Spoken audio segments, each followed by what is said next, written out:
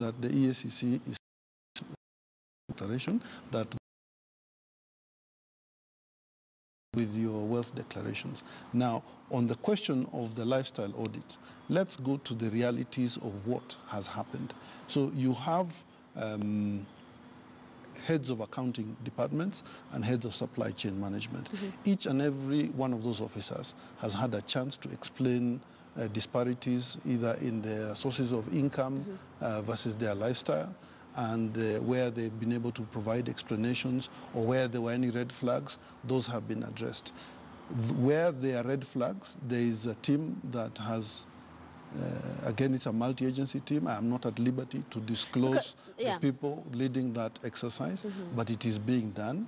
And what will happen is where there are clear cases of people having abused their positions of trust mm -hmm. um, to enrich themselves, those will follow the channel that you have already seen. All Today, right. as we speak, the courts are congested. They can't even find a date to hear some of these corruption cases. Let me take you back to the lifestyle audit because at the time the president announced it, no yes. less than the leader of majority in the Senate, Kipchumba yes. Murkomen, in a televised interview, questioned this lifestyle audit. In fact, spoke about it targeting the deputy president. But one of the other issues he was raising is how is it going to happen? And so that today you sit here and tell us, yes, it has happened. It's not a lifestyle expose. Do you see that there are Kenyans out there who will be like, okay, so he announced has happened. Why is all this shrouded in mystery? Yes, there's a level to an extent you cannot say certain things. But if it's just going to be something we don't understand how it's happening, what kind of details, anything to show that this thing is real and it's not some PR exercise. Do you, so that even do your you own, doubt yeah. for a minute mm -hmm. that this issue around corruption is a figment of the government's imagination or more so the president's imagination? It's an issue. Why do you think that even you guys, uh, the press, every Friday you're hanging outside the CID headquarters waiting to see what's going to happen.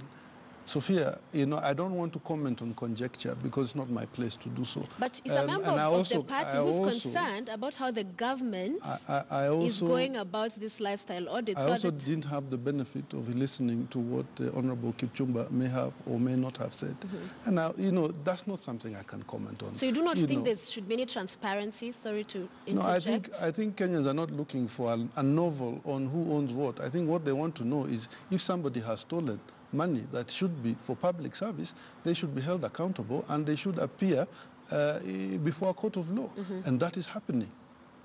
I don't think for any minute, uh, if you go to the ordinary Kenyan, I don't think they doubt for a minute the sincerity yeah. of this administration to Be deal with corruption. But I have to say where this frustration is coming from and why, what would make this conversation a lot more interesting for all of us, uh, and, and, I speak for the president when I say this, mm -hmm. is that we need to see movement in the judiciary. Mm -hmm. The buck stops with the judiciary. The supply chain of graft suspects has not stopped. But what we need to see is movement at the final end. But if they feel movement... these cases are not cases that uh, would lead to convictions. So do you fault the judiciary? I'm not faulting anyone. I'm just saying the frustration here for most Kenyans is that they want to see these issues closed. They have been commenced, but remember, in, in, uh, in a democratic society such as ours that recognizes the separation of powers, the executive has done its role, the legislature has provided the legal and policy framework, within which the executive can act. Mm -hmm. Now, the arm of government responsible for putting this thing to bed is the judiciary. And judiciary would argue it only acts on what it gets, so that to say... Uh, do you think, Sophia, there's a, there's a shortage convict. of things for them to act on?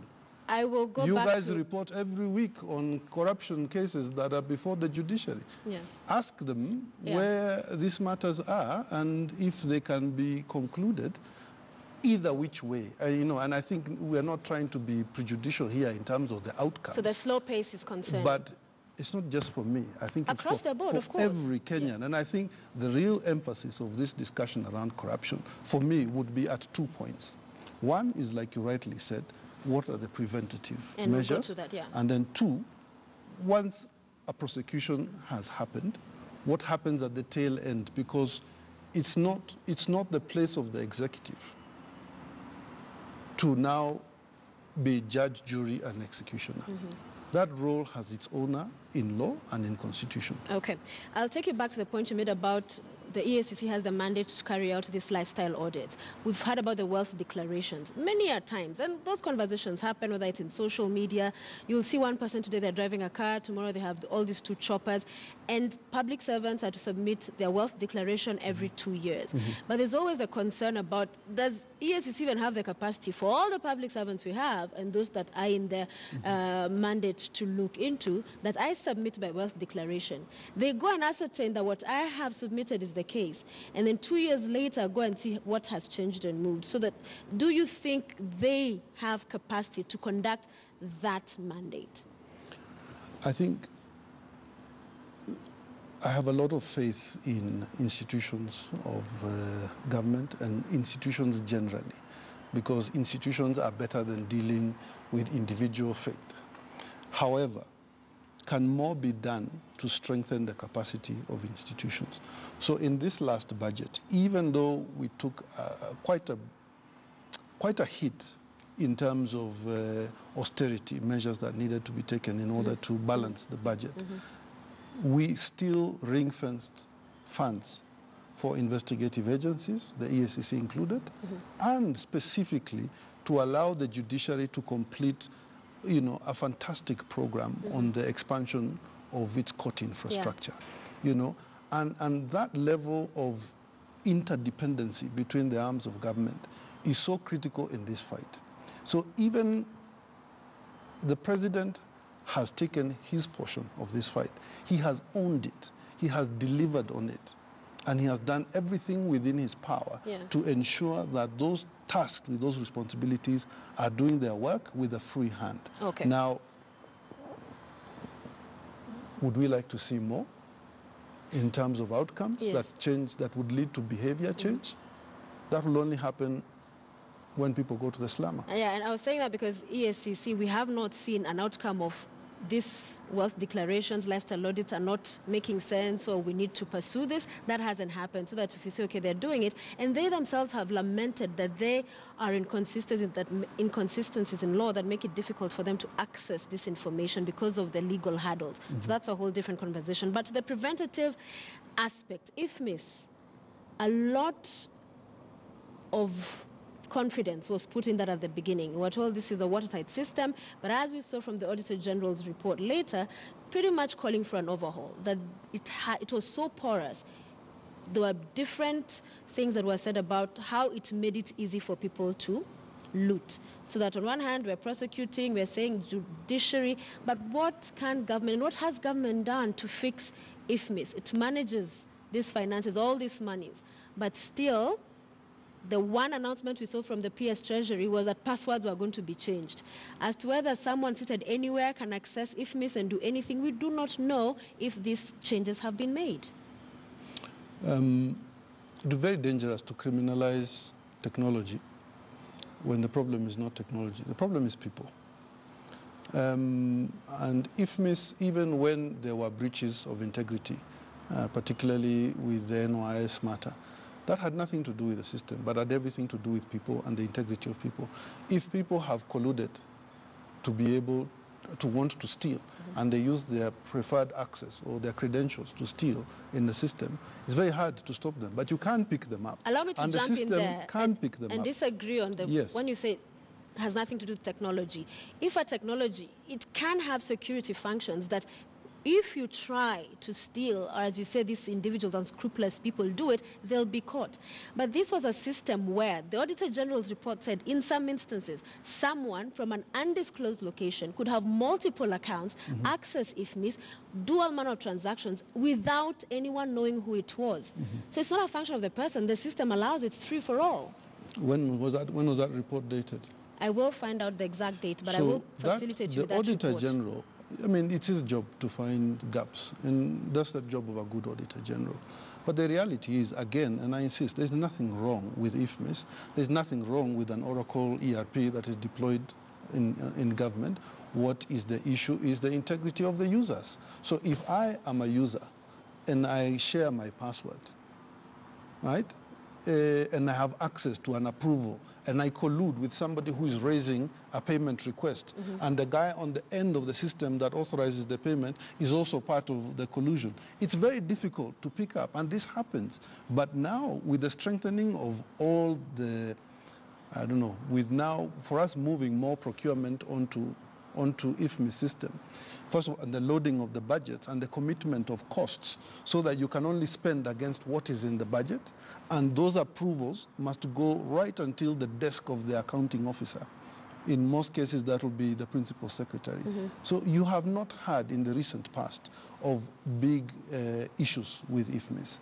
Has got investment, NYS2 after NYS1. NYS2 had nothing to do with IFMIS. And if you walk through the system, all those payments were issues that were at the point of being raised. We're yet to find out because this is, uh, uh, 9 billion was lost, is it 80 billion? What is being prosecuted now is about 400 million. So it could turn out to have been Again, don't demonize technology. If somebody colluded to supply air, that has nothing to do with the system but everything to do with the person. Let's and talk those about people persons. will be identified yeah. and dealt with. Let's talk about persons. And the president, while there's government and there's a public service, he has appointees, his cabinet. All right, and I want to take you through just some of the scenarios we've seen in the recent past. We've seen the president publicly, angrily criticize, call out CS Kiunjuri over the non-payment of genuine farmers and now we saw Kiunjuri talking about even the maize that was bought that is in the silos is not good for human consumption. So the ball was dropped clearly by individuals in the ministry. Again, we saw the mercury sugar debacle. Um, there was that Gazette notice that Rotich was criticized for. There were investigations in Parliament. Adan Mohamed, again, Kiunjuri was there. Matiang'i is one who had raised the flag around um, poisonous sugar. We saw a report changed in Parliament. The night before it was presented, one report was saying, find them responsible. The next day it was saying further investigations. C.S. Balala, 11 rhinos, country's treasure. They die in an exercise he oversaw, despite advice that, according to information that came from the former chair of the board, should not have happened. Mm -hmm. um, and I could go on and on. Matiang'i the other day after the Fort Ternan accident said, I take responsibility and more needs to be done. The question becomes, what does taking responsibility mean? So to my question, these are the president's appointees. Mm-hmm. When the president comes and gets angry, like I would at something like this happening to the country, when he could fire, get people who can actually get the job done, isn't the president not leading from the beginning? A president who in 2015, cabinet members who are mentioned in corruption were let go. So what has changed? I'm not understanding what you're saying because none of the examples you have talked about are talking about corruption. No, it's about accountability, not corruption. Accountability the CSs appointed by the president, that in the various dockets, when the drop, ball has clearly been dropped mm -hmm. and it's Mwananchi that's suffering, we do not see accountability. Uh, At the top, the president comes to ventilate like any other ordinary Mwananchi, yet he has power to do something about it. Uh, the president also has a lot of faith in his cabinet, and uh, they know that they serve at the pleasure of the president. I don't think anybody in the cabinet is under any other illusion that um, their tenure in cabinet is subject to any, any other forces or any third parties. However, I think the president is also someone who is extremely fair. And he even when he displays outward uh, manifestation of anger, he's giving you a chance to basically go and put things in order. Mm -hmm. uh, his appetite to mix things about has never been called into question. He has done it before. Why isn't he doing it now? When things we see, we cover those stories. Uh, Kenyans see farmers suffer, Rhinos die. I've been in this game long enough to know when uh, a situation can be manufactured. So, all so I'll give you a simple. I'll been... give you an example, right? The issue around the rhinos. So it's a travesty, and it's tragic that it happened. You know, there is a back and forth as to what may have caused the situation. The appropriate thing to do is what has been done now, which is to investigate, get to the bottom of it, and ensure that we don't lose any more of those animals. Now, scalping the minister may not produce any meaningful result at that point in time. The president is also a politician, and there are many things he needs to balance, one of which is just keeping what is a good team. Even when you have, Uh, and you're playing a soccer match, you may be tempted to make substitutions all the time, but sometimes it's not necessary. You need to let things play out, see what happens, and at some point, if he feels that any member of the cabinet is not pulling their weight, he has never shied away. I mean, you have seen him do it before. I don't think he'll have a problem doing it at any time in the future. But I also think we need to be cautious about proxy wars that find their way into the press and inevitably try to implicate or try to You land call the, you, a I- I- minister. you sound like you are you're, you're trivializing it. Call it tro- whatever kind of wars. When if we forget whatever may be happening in the political scene and shenanigans, rhinos have died, given. Okay. Yes. Um, maize farmers, genuine ones, are not being paid, and scrupulous people are getting millions pocketing. Mm-hmm. Now the maize that was actually bought in the silos is not good for human consumption. Mm-hmm. We were told about sugar with mercury. Now we don't know what happened to that story. So that, and, and as you answer Mm-hmm. that, whether you're also concerned with the attitude when some of these yeses are held to account or criticized, take. Balala said, go to hell. I only respond to my appointing authority, who is the Uhuru Kenyatta. While he serves at the pe- pleasure of the president, he holds that office, you know, for the people of Kenya. The president is appointed, I mean, uh, elected by Kenyans. Kiunjuri said he'll deal with his haters. Does that kind of attitude, does it concern you?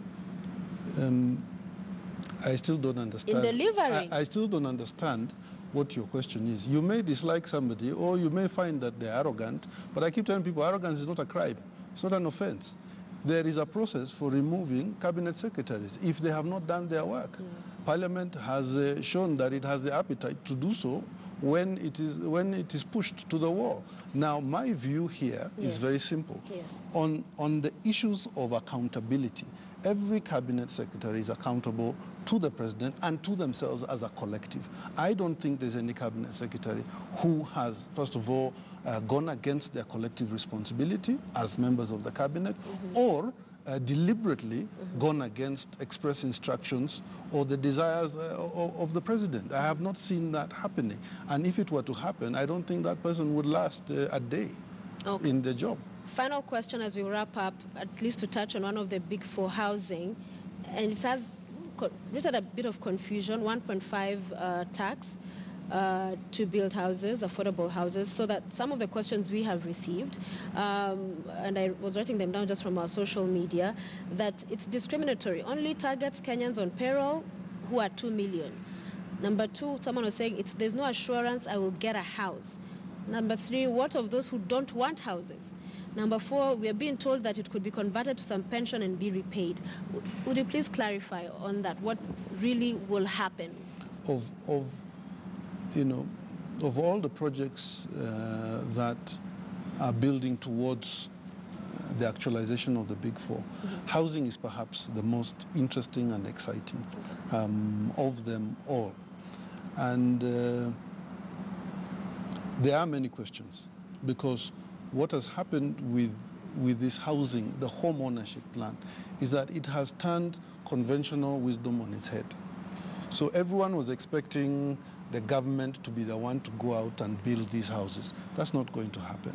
The government has just created the framework for these houses to be built. Hmm? Now, the, the levy of 1.5 that is going to be on your, yourself as a salaried hmm? employee, for example, that money is actually not a tax. It's a saving. And you get relief for it.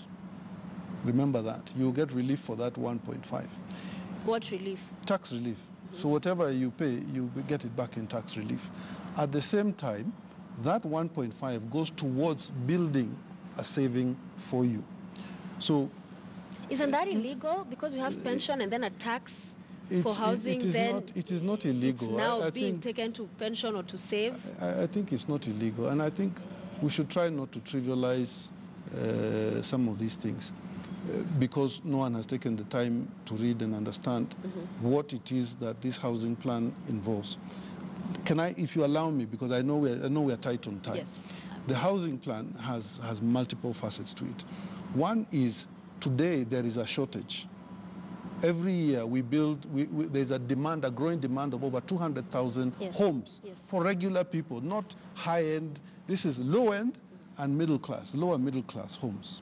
For, for, these are regular folk. Today, on the mortgage front, there's less than 24,000 mortgages in Kenya. Okay. Right? So there's, a, there's an issue there. The demand for an affordable home far outstrips any supply that there is. Okay. Now, what the plan is is very simple. For us to build houses at scale, we need to create an off-taker. There needs to be somebody mm-hmm. to, to be able to buy those houses and then allocate them. So what this, uh, this levy is doing is going towards something called the Kenya Housing Development Fund. The Kenya Housing Development Fund is a critical component of this housing plan. So let's say you today are a developer and you, with the Nairobi, let's say Nairobi County, we have identified a piece of land. Yeah. That land has been given gratis, free of charge by the county. The government has terminated water, power, and other infrastructure, sewage infrastructure on that property. You as a developer build your uh, 10,000 houses to a controlled standard, something called the Development Guidelines uh, Framework. Yes. You build those houses. Yeah. This housing fund seconds, yeah. buys the houses from the development fund and then allocates them to applicants. The applicants are you and I, the people who have been paying this levy. Now, depending on where you live, your income status, it will give you better access to the housing. So the more needy you are, the better chances you have of Yeah. getting the house. And we should not again look at it in a five-year cycle because even though we plan to do half a million homes over the next uh, four years or five, four and a half years, um, this is something that we are putting for continuity. And if you don't get a house, you get your money. You get, you will get, you'll have All access right. to your money. You So it's not going to- anywhere. All right. Thank you very much. I wish we had more time. I know. We will have you again. Will you come back? I'll always come back. You'll always come back. Thank you. It has been a pleasure. Nzioka Waita, he's the Chief of Staff uh, and the President Kenyatta's administration as well as the head of delivery. You're watching Checkpoint and uh, Robinson Kenya is coming up next.